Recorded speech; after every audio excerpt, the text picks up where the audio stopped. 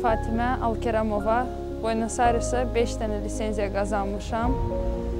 Üzgüçülüyə həvəsim uşaqlıqdan bəri olub. Anam deyirdi ki, mənə ə, uşaq vaxtı su ilə oynamağı çox sevirmişəm. Üzgüçülüyə 5 il bundan qabaq başlamışam. Ən uğurlu keçirdiyim yarışlarımdan biri Macaristanda keçirilən EOF yarışı idi. Orada 200 metr sərbəst üstunda ən yüksək bal topladım, 756 bal. Bu isə çox yaxşı, yüksək bir baldır FINA balı ilə.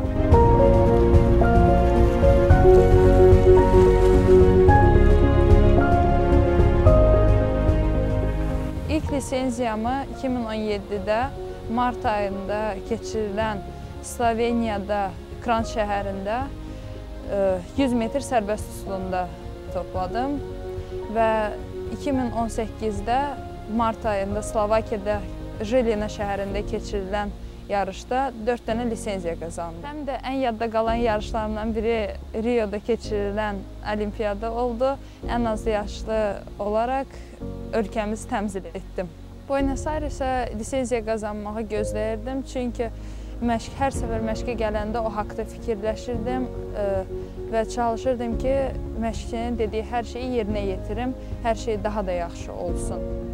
Məsafələri üzüb çıxandan sonra yəni, lisenziya qazandığımı ilk dəfə həbərim olmamışdı. Sonradan həbərim oldu ki, lisenziya qazanmışam və mən çox sevindim ki, ölkəmizi 5 məsafədə təmsil edəcəm Buenos Airesdə. Buenos Airesdə yaxşı nəticə göstərmək üçün məşqlərimiz gərgin şəraitdə davam edir. Həftədə 6 gün məşq edirik. Məşqimiz 16 kilometrdən ibarətdir. Üzərimdə ən çox əziyyəti olan mənim ailəmdir.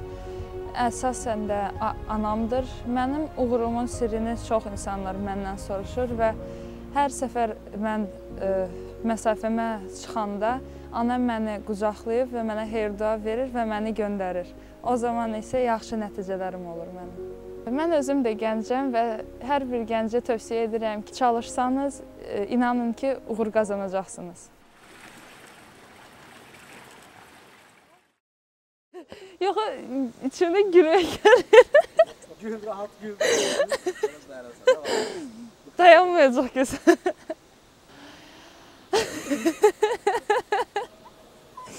Sərbəst üsulunda ilk dəfə master master olmuraq idman ustası olur.